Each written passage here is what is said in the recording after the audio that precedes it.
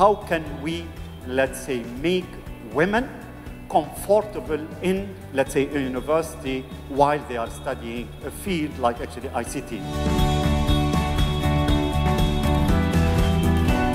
It's really important to have such events as, as today to really get an understanding of what we as educators need to change in order to, to get more females into our study programs and then later into, into work in the field of ICT.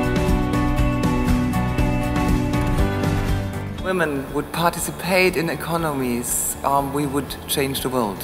And it's the business case, just striving companies to integrate more and more female talents.